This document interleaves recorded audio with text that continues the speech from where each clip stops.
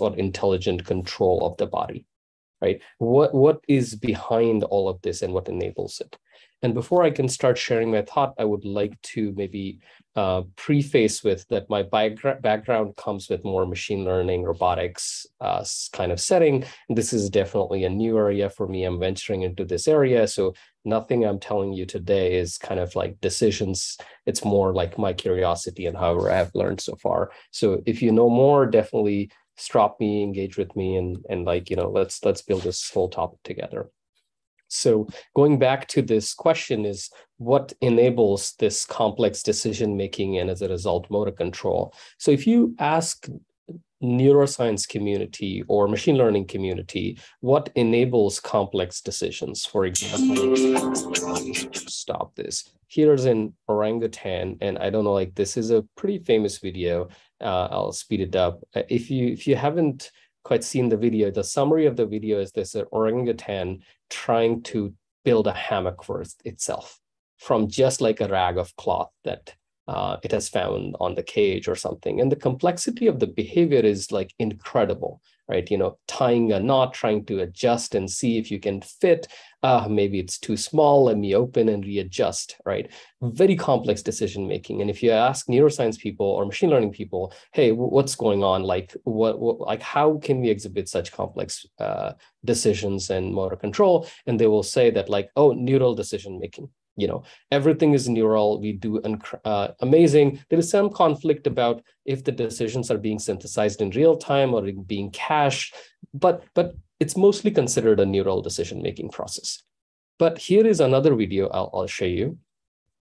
And here we just removed the every neural decision making power from this cat. So it's a decerebrated cat placed on a treadmill okay? And the cat can still walk as you adjust the speed of the treadmill, uh, it will still exhibit very complex gaits, etc. So all of the previous theories come somehow comes in question over here. And this is where if you ask a biomechanics person, he will say everything is in like biomechanics and spinal cord, and it's a distributed uh, decision making going on throughout the body right? So it almost appears like that there are two facets of intelligence whenever it comes to like exhibiting complex motor control. One is cognitive decision making that that that is related to cognition and, and neural activity, but the second is also like musculoskeletal control. Like how can we uh, control the whole body and how this complex decision starts from the brain and slowly goes through the spinal cord neurons et cetera et cetera. So i'm going to like basically po- posit today that there are almost two facets of intelligent uh, cognitive decision making and musculoskeletal control and perhaps an intelligent being exhibits intelligent decision making at the combination of both these fa- facets not in isolation. So toward this end what we have done is first challenge is to build a system where you can look at the intersection of neural decision making as well as biomechanics. And there is a well known um, simulator out there. It's called OpenSim, and it has held the fort of the community for a really long time. But there are two big challenges with that simulator that A, it is not fast enough for data-driven techniques, and B, the contact dynamics is really missing. So you can do postural control a lot, but the context dynamics is very limited, limiting. So towards that end, we have created this platform, which we call MyoSuite. It is incredibly fast and with contact dynamics. So I'm going to like explain to you and like show you guys a little bit features of the system, and then we can go back to the original question we started with. Okay, so what is MyoSuite? It's a fast and physiologically realistic framework for musculoskeletal as well as exoskeletal studies. So we have both the system together you can study. And this is very interesting when you pair up humans with like exoskeletons or rehab devices and stuff. So this, this combination also can be very, very interesting. So what are the key properties of MyoSuite? it, the MyoSuite models are validated against the state of the art. So it is still the state of the art models that you are getting access to. There are improvements over the state of the art, but we haven't validated it. So let's just leave it at the state of the art for the moment. And it is over four orders of magnitude uh, more efficient than the OpenSim models that we are commonly familiar with. And this enables us to run modern machine learning algorithms in the same speed as we run like robotic simulators, for example. So that is one cool thing that happens in this uh, platform. The second interesting thing that it has a full interaction dynamics that is supported. That means it's no longer just about postural control or force control. You can actually interact with the system.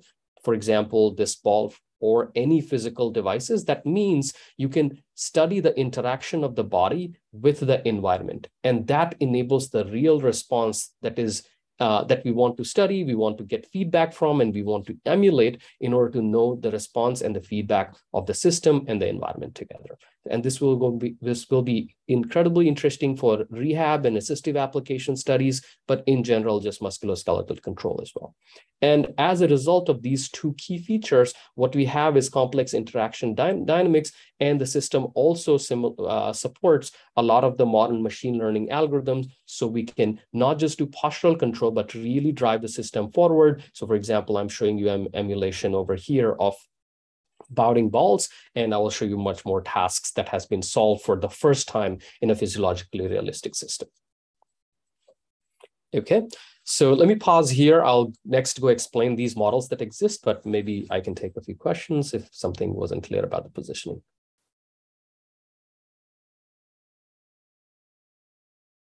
Okay, so let's move forward. So the next, what I'm going to explain is what models are available in MyoSuite right now. Uh, towards the end, I'll also tell you guys about what new models we are working on. So the models are three well validated models are available. One is a MyoFinger, which is the, the one on the left. This is a simplified version of the model, which you will use as a unit test to get started, etc. The number second is the Myo Elbow, and this is a one joint six muscle uh, system, which is very well studied in the myosim and, and biomechanics literature. So this is like one of the most classical things people try to use. So here, here is maybe for whom things are more familiar. Number B is where you'll find your familiarity. And number C is basically where the whole system shows the full glory to you that this is the entire hand model in 26 joints and 39 muscles and we have validated it against the state of the art opensim models plus we have found a lot of bugs etc that we have uh, that, that we have fixed in the system so at least i can say that it is as good as the state of the art system all right. So the question is like, how do we get to this state of the art system? So towards this end, what we did was we created an automatic pi pipeline to convert the OpenSim model to the MuJoCo model or the MyoSuite models that we are talk talking about.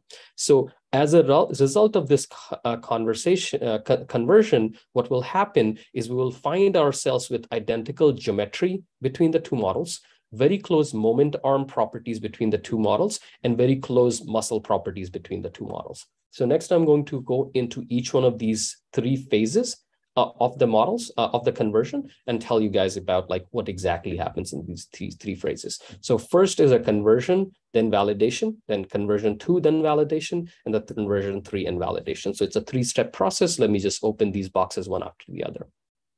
So the first step is the conversion one, where we convert mostly the geometric properties of the system. And this includes the body segments, joints, muscles, markers, etc. That means when you do validation against the forward kinematics between the OpenSim and MuJoCo models or MyoSuite models, we will probably see very similar behaviors. So if you maybe squeeze your eyes a little bit and uh, tally the blue and the orange, you will see them perfectly being aligned to each other. All right. So this is perfect conversion between OpenSim and MyoSuite right now. There is no loss of any properties in, in the phase one. In the phase two is where the wrapping optimization happens. That means the mm-hmm. bones, all the muscles have to slide over the bone segments. They do not have a direct line of action between them. So this is where we optimize for all the wrapping objects, make sure none of the muscles are penetrating any of the bones, etc. And what we will see is if we see the, the the, con the, the conversion step one model, there is a far bit of a gap between the conversion one and the original OpenSim model. But if you see the green and the blue, again, the green and the blue are perfectly symmetric to each other. That means even after the conversion step two, there is a perfect convergence between the OpenSim and the MuJoCo and or the MyoSuite models. So this is where we have aligned the moment arm properties of the muscles and the bones. And the last step is where the force properties, or this is where the dynamic properties of the muscles get aligned. So again, similar things. If you look at uh, the orange curve and the blue curve, there's a far bit of difference. And then after the optimization step, they are very close to each other. This is the worst case situation. And on the right is one of our normal, normal case situations that they are pretty much like indistinguishable from each other, right? After these three conversion step, what we have is physiologically realistic uh, models. These models are two orders of magnitude faster than the state of the art. And they have hybrid simulation of musculoskeletal and exoskeletal systems. So for example, the elbow model that I've shown you before, uh, here the elbow model is combined with an exoskeleton. It's a little bit hard to visualize the rendering, but here is the arm socket here is the elbow joint, and here is the, the forearm socket. So there is an exoskeleton on top of the whole muscles. And for this particular model, what I can tell you is if you start replicating this model over and over, you will see a linear increase in the average time it takes for MyoSuite to sim simulate it. And if we do that with OpenSim, there is an exponential blow up of the, uh, the properties. So that means that any model in OpenSim of similar complexity will take forever to simulate. And, and we are not even sure if we can do that properly at this point. So it, it, it's a system or a platform that scales very well with the numbers of system. And as a, as a result, we were able to build further biological phenomena on the whole platform that we have fatigue models where muscle fatigues over time. We have sarcopenia where the muscle forces actually decrease over time. We can simulate tendon tear, for example, very uh, good, uh, a common study, I don't know how common it is, but a well-known uh, proper study that happens is that if you act during an accident, it's very common for us to break some tendons of the thumb and it's a well-known surgery to move some of the tendons of the index finger towards the thumb so we can recover some of the movements of the thumb. And all of these properties are also available in MyoSuite. So now you can see how this is a very interesting system where we can study not only just interaction dynamics, but we can also simulate different biological phenomena to see what the effect of the control will be on these systems. That means it, will this surgery be successful or not for a human? We can potentially simulate this before actually doing the surgery, which could have very interesting effect. I'm not going to claim that this is going to perfectly tell us what was going to happen after recovery, but at least this is a one validation that we can do before running some such surgeries. All right. Um, so by the way, feel free to stop me if I'm going too fast or if you have questions uh, because I cannot see any raised hand or anything like that.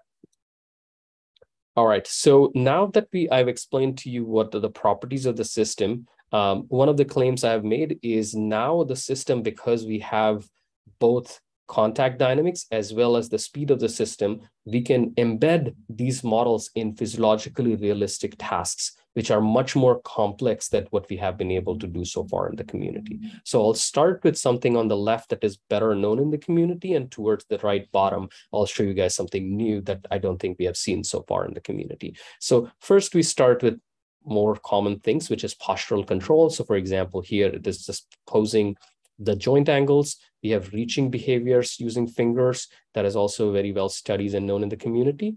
Straight in the bottom, we have the full hand postural control and full hand reaching properties. Uh, here we have elbow control, uh, where you have to like rotate the elbow to known degrees of freedom. And then finally, we have exoskeleton as well as musculoskeletal studies where we have both muscles as well as exoskeletons being controlled together. The rest of the four in the bottom right are where the contact dynamics kicks in. Here we have a full hand trying to rotate a key. So very well coordinated finger gaiting is required to solve these tasks.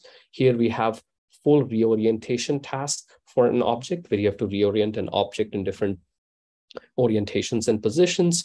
Then the pen twirling experiments, I think with a lot of us twirl pens, I'm not sure like Pulkit, if you do, I, I, if I'm sitting at a table, there are a bunch of pens I'm twirling while reading a paper or doing whatever. And finally, there is like a dual object manipulation task where while all the others were single object. And this is where we have to coordinate muscles as well as these objects, two objects together to share the workspace so that we can solve this Baoding ball, which is the rotation of these balls along the palms.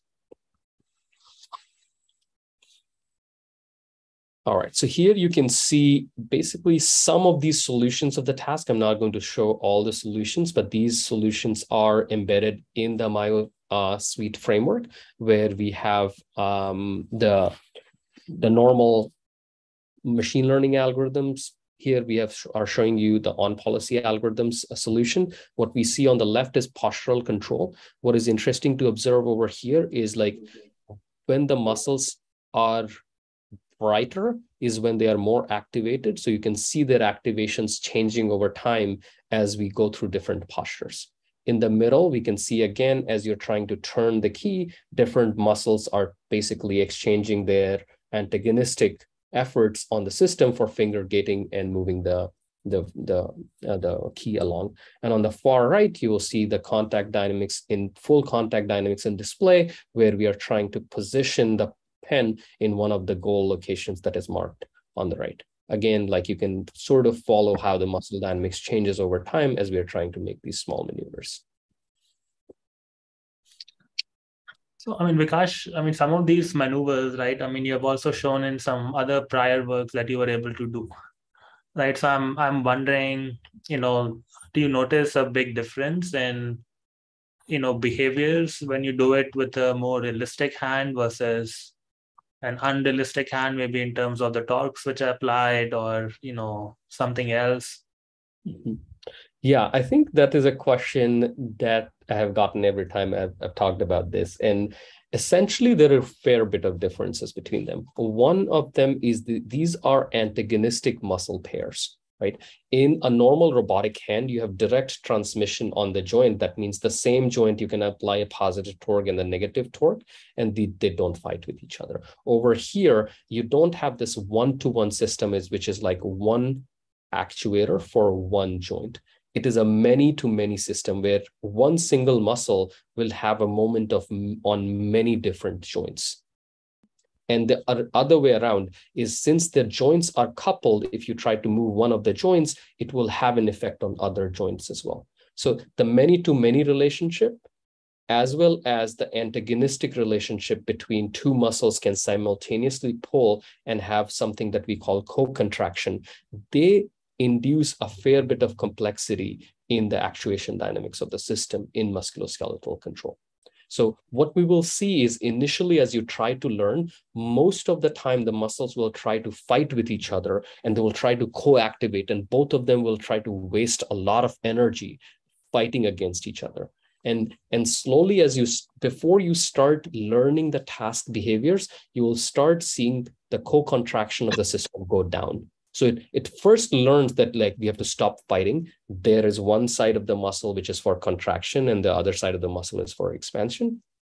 And these kind of behaviors slowly kind of emerge. So one is basically co-contraction going down. The second effect that happens is energy of the system being more preserved rather than like ex- like exhausted while doing just more babbling kind of a movement. And then eventually the task control kicks in right? So some of the transfers that I've seen from like more robotic settings to here is like some of the the models, for example, task definitions, I think transfer quite well. The reward functions, etc. I think a lot of the intuitions I've built over like the robotic system transferred quite well. But then when it was about regularizing the actual body and like how do we uh, formulate the whole MDP around a muscle segment, I think those things required more work. I see.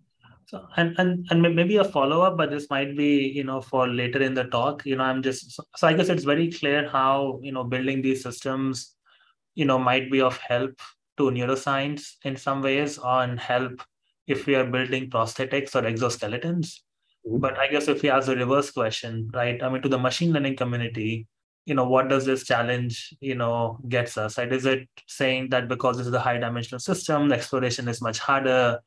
And you know that is where innovation is needed or is there some other messaging also I think I would not be able to give you concrete messaging today, but we are definitely like I'm I'm saying like I, am here to okay. learn from the rest of the community, but I can give you some of the thoughts that I have so far right this is not no by no means a, a, conclusion of any kind but like maybe more open questions so one of the things which we as a machine learning community have struggled with is finding relevant high dimensional tasks that have impact, immediate impact in the community today right? We always keep doing this toy problems, half cheetah, like you know, different kind of settings, even for robotics. Like it, it's a promise of the future, but not today, right? So okay. here is a very well positioned set of tasks where if we give any concrete evidence of you know we are doing anything useful i think it will find immediate impact in the community right that that is a very well positioned and very well motivated punchline for me, even if we don't learn anything new. But like you said, there are lots of technical questions over here, which is like, you know, uh, eh, like high dimensional system, third order dynamics. Like we have never seen any third order dynamical system right now in machine learning benchmarks. So third order order dynamics, how do we control such complex system? Plus, how does human has this complex decision making, which is not just real time synthesis of behavior. Like we have memory, right? We have long-term memory, we have short-term memory. So it's a distributed control that we as organisms do. And these kind of questions haven't exposed themselves quite yet in the ML side of literature. So I think I'm more interested about the potential. I don't think I've, I have anything to like actually say concretely, rather than I'll just say that I'm pretty excited about the potential it presents. Okay, okay, great, great. All right, any more questions? All right, let's move forward. All right, so I think like this is where um, I start going a little bit towards the machine learning side of things. And, and let's see, I, I see a chat. I'm not sure if anyone, okay, I think someone else. Okay. All right, so now the question is that like now we have this system, which is very reliable. Um, we can simulate them very well. We can position them in complex, realistic, contact-rich tasks. And my background is in like dexterous manipulation. So I'm always coming down into this land of saying like, okay, expressive behaviors, let's just narrow it down to manipulation and see, can we solve this manipulation?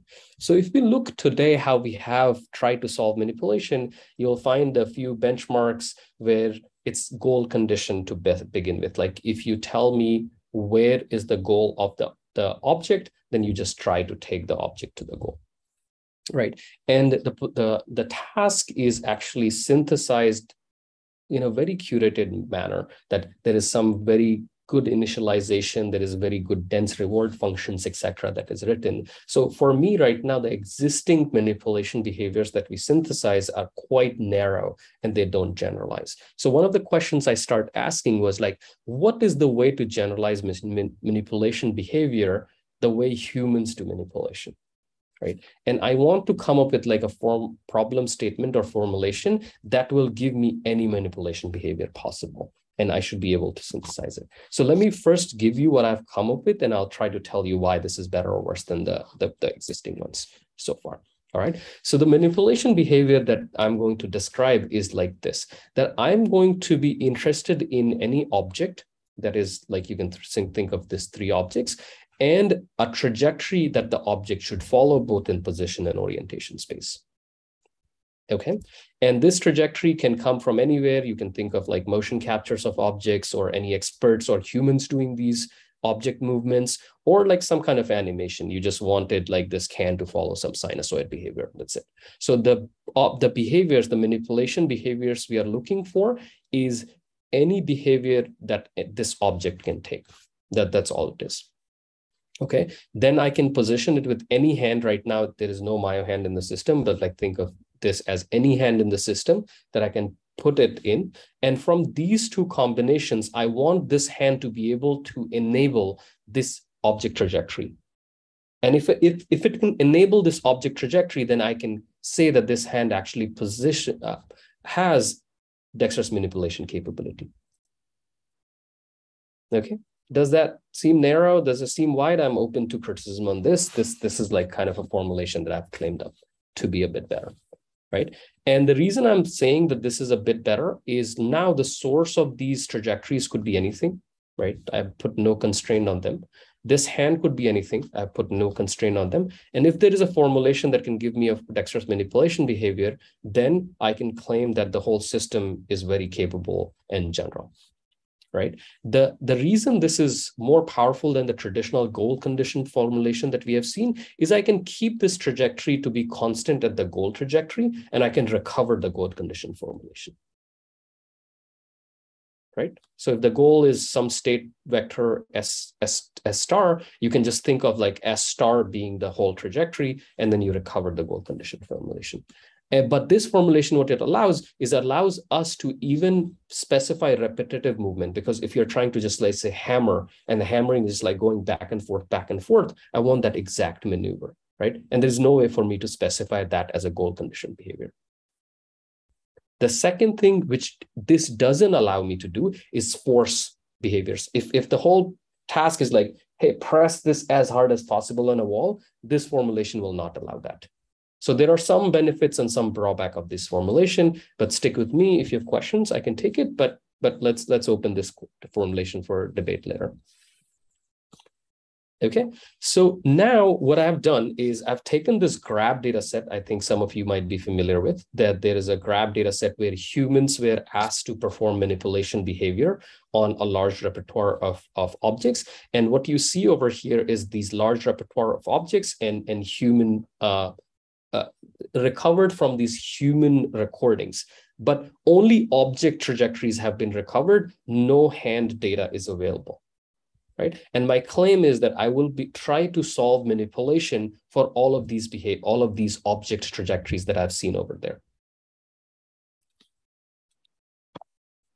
Okay, so this, I've formulated all of this in a standard OpenAI GYM formulation and installed using standard reinforcement learning techniques. So I, am not going to tell you any cool new algorithms over here. I'm just going to say that like how this formulation has changed everything uh, and it can enable. So what it is, is here is the action space of the whole hand. So what I'm after is I'm trying to recover a policy pi that takes following things as an input, hand positions and velocities, pretty standard.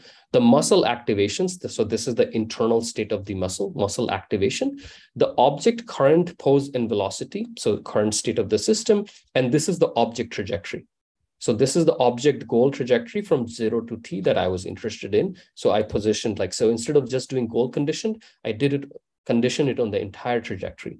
And the last is the basically key thing here. So what I have given was one extra system, which is a very well-known technique. I think it goes back decades, that there is a pre-grasp that is specified for that particular object for this particular hand. And you can think of this as an affordance model. There is some kind of affordance model that tells me for this particular object, what pre-grasp the hand will pick. So in my earlier formulation, this pre-grasp basically is that affordance model. So for this particular object, that's my output of the affordance model. And given this, this output, everything that I'm going to tell you after is standard. I'm not going to change anything in the system. So there is a reward function, which is a standard reward function, which basically says object error uh, in position and quaternion space plus some uh, bonus for lifting the object. And that's pretty much it and, and some regularization for using less energy. And I'm going to freeze this system at these two formulations, and then I'm going to run standard RL algorithms after this. Okay, and this basically is the single frame which is getting as an extra supervision. Beyond this, this is a standard RL formulation. Nothing has changed. And this single frame supervision is coming from some sort of an affordance model right now. Okay, and after this, what I'm going to claim is the results are interesting manipulation behavior across all set of objects that I was showing you before. Here is trying to watch a clock, what time it is, right? There's different iterations of that. You can try to analyze the naturalness of the movement. Um, there is definitely a lot of natural behaviors. There is definitely a lot of not natural behaviors as well, but those are quite rare. So here is drinking um, a coffee over here. Right here is, God, my internet seems slow. All right, so here's a shaking a water bottle. Here's the cyclic behaviors that could be specified in a goal condition formulation. Right. Um, well, let's go next. All right, so here is basically the same object, two different trajectories were specified as the goal trajectories. And there were two different pre-grasps that were outputted because the affordances for these two are different. One is drinking, another was pouring. Okay, and the video sort of continues on and on over from here. But then what I said was a standard RL algorithm, just formulation is different over here. And based on the formulation difference, everything changes. Now we can synthesize a large repertoire of manipulation behavior just because of that pre-grasp affordance model. And here is an interesting uh, ablation that I'm going to show. On the top is basically our performance right now. So it's pretty on par with everything that you see below. And these are most of the state of the art algorithms. Some is called graph. There's some kind of a curriculum where you start from slow, like simpler tasks and go to harder tasks. And we also have DeepMimic as a baseline. So it's very competitive to all of these baselines, but it uses none of the you know, Oracle information from these baselines, right? Which is pretty incredible. No curriculum you have to synthesize, no full trajectory, full hand trajectory you have to specify for DeepMimic. But what is even stark is you just remove the affordance model of this pre-grasp information from all of these baselines, their performance dropped drastically to the point that they are no longer effective at all. So it almost tells us that most of what we saw in these algorithms was work done by this pre-grasp affordance model. And there's a little, only a little bit of addition for most of what they say, right? So at the end, what we have is this interesting framework, I, I wouldn't even call it algorithm, that does most of what you do from this one frame, which is a pre-grasp frame, which can call affordance model. And vision literature has been pretty good at synthesizing this affordance model right now. So this simplifies a lot of how we think of dexterous manipulation today, and we can do a lot. Okay, so before I move forward, I, I, said a lot of things. Maybe just pause here and, and, and wait if, if, if everything landed or if, if there are questions. Hi, can I ask a couple of questions? Absolutely, go for it. Uh, wait, I'll turn on for the camera on so you have uh, someone to talk with. Uh, hi, Vikash, nice to meet you. Nice to meet you. Uh, I'm a postdoc here at MIT. I work in uh, human motor control. And uh, I think it's really interesting what you're doing and what you're presenting today. thanks so much. And I've been actually looking into reinforcement learning for human motor control my, myself. And uh, I've been wondering, for instance, like this pre-grasp really resonate with what humans do. We have internal models for predicting how to interact with object. And this is something that is quite well established in the in human model control. So I was wondering if you can tell us more about this pre-grasping and how this affordance model works and how do you, do you build this pre-grasp configurations?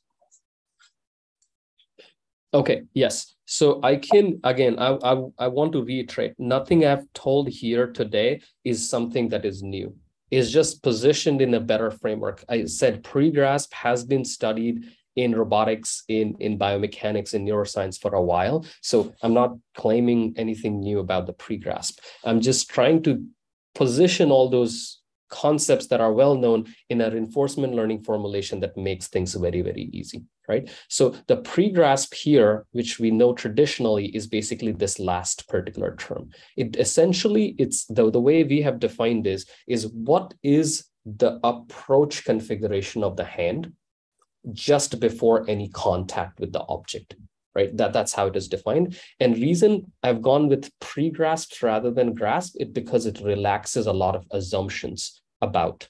Because if you have a if you need a grasp you need to know about the forces you need to know about the geometry. So you need a lot more information from the object as well as the the contact sensors. But if you want to just go for the pre-grasp it's just an open free space movement it's very easy to do that and it has no bearing on surface properties of the object it just needs to know a rough shape of the object right so the obvious question comes where does this pre-grasp come from right? Um, so I would start with like ridiculous sounding ones and then maybe go for like a little bit smarter ones. So ridiculous ones, like it's one frame, like just, you know, even if you have five sliders, a bunch of sliders to move, you can move those sliders. Number one, easy to specify. And in our benchmarks, we have a combination of ways we can bring pre-grasp to show that it doesn't matter what the source of the pre-grasp is. It's just like you get it somehow. All right. So use sliders, pretty dumb works. Um, you know, run any of this hand tracking algorithms that you can find online works on one camera. Just position your hand, give it that, it works. Okay. The third is if you have motion capture, which is very common in, in biomechanics, uh, right? Grab data set has motion capture. You can just extract that one frame that you're interested in, and that could be a source of the pre-grasp. But the more interesting ones are that in, in this is mostly coming from the vision uh, community, that given a video, they can predict the hand position that will grasp the video or pre-grasp the video very well. So we take those models and we just relax it open a little bit so that we don't get into these weird um, you know, collisions and stuff. So we have played around with all these different kind of pre-grasp positions. It works quite well with all of them. So I, I would say agnostic to the source of pre-grasp, just figure it out any way you can find this affordance model. And once you have this affordance model, plug in this formulation and any standard auto algorithm is able to solve it. Perfect. Thank, thanks so much. And another, another last curiosity, then I will leave others to ask questions. The reward function. I mean, uh, the structure is pretty common for uh, for reinforcement learning, but uh, it's always like the question also how you crank these reward functions in reinforcement learning can really affect mm. the result.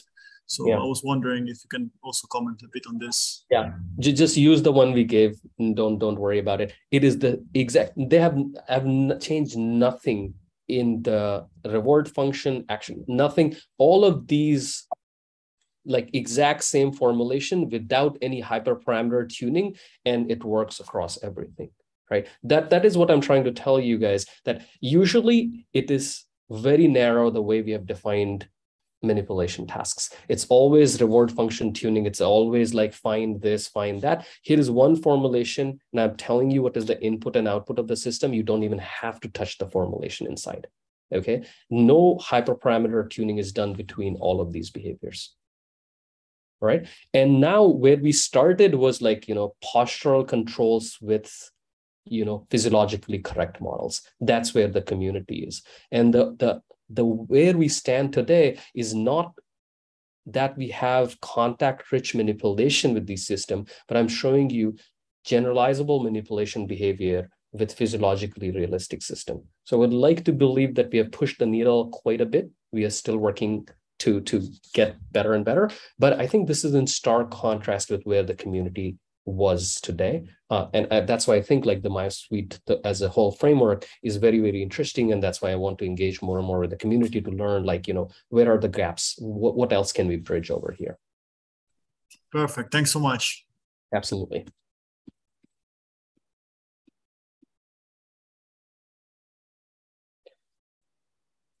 All right, so I'll leave this set of questions for later in the interest of time and let's move forward. Um, so where are we going after this? Um, we are definitely interested in moving forward. Right now, I just showed you like maybe the hand and the forearm system. We are working on full arm system, bimanual systems, full body systems.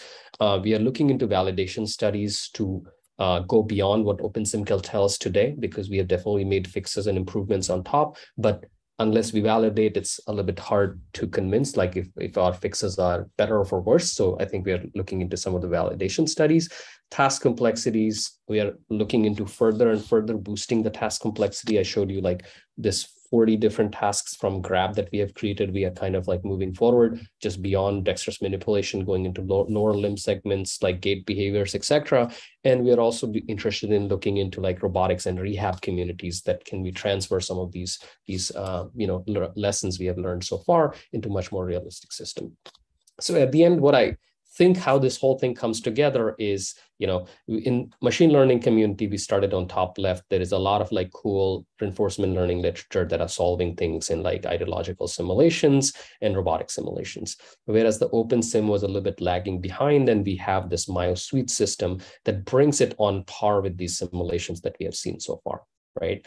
Um, but these simulations so far are still far from being realistic so that we can actually do them in the real world because there, rely, there is a big reliance that is, comes from sensing and tactile sensors, etc., that we are still going to miss in, in any of like the actual a real world system. So there is some work going on. I think like a lot of you will be more familiar than I am in like, you know, tactile sensing or like more physiologically correct biomimetic hands. So if we can bring some of these technologies together in comparison with robotic systems can do today, and I feel like, you know, rehab devices, there are there are quite a lot of rehab devices that are approaching the complexity and capability of the robotic systems, plus the reliability, I think there is a path that I can see that can lead us closer and closer to human level dexterity and, and more generally the human level decision making in terms of musculoskeletal more motor skeletal control.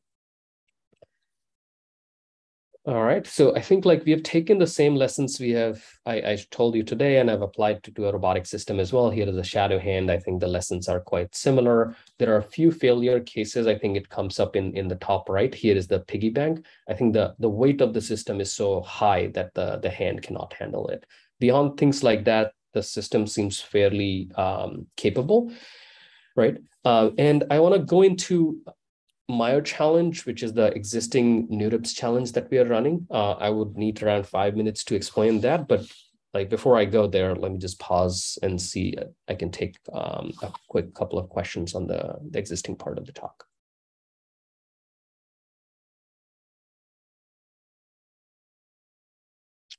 All right, in that case, let's move forward. So I showed you some of the things we have achieved so far, but definitely not all the way. And this is where I think, you know, developing things in isolation is never a good idea. And especially when I'm not in the community of like biomechanics or neuroscience. So wanted to engage with the community. So the best uh, advice I got from the senior, senior, senior advisors are, hey, run a challenge and ask the community to come in and tell you how things are wrong or come join hands and build it together. So this is what we are running uh, right now. It's live. It's called MyoChallenge. It's a NeurIPS 2022 competition track.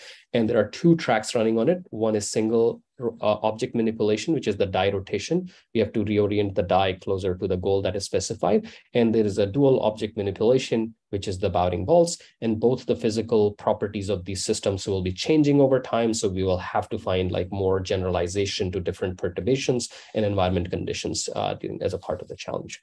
So what is the challenge all about? Let me just go briefly over it.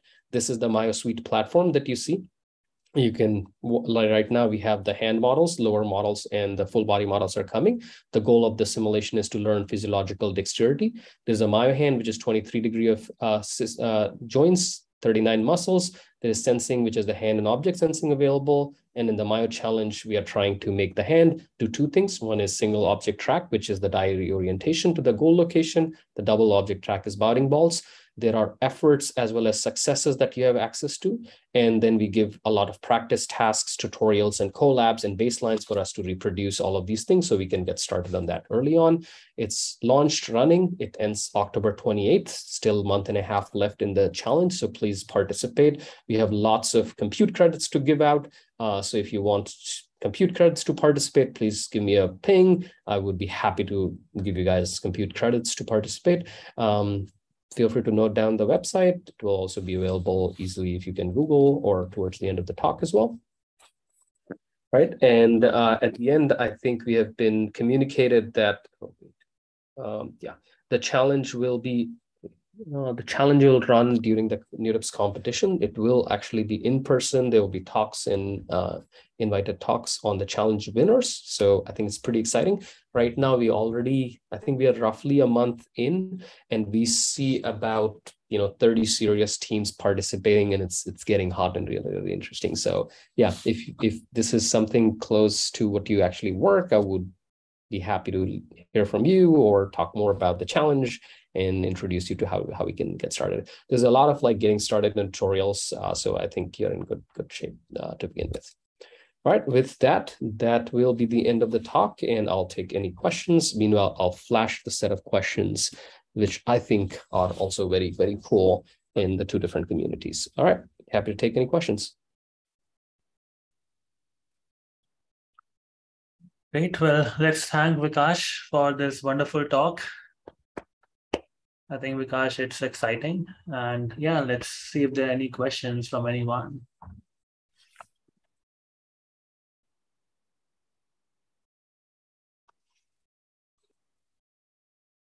I think everyone is just in a state of awe, Vikash, you know. nothing nothing landed, Pulkit. Don't try to cover it.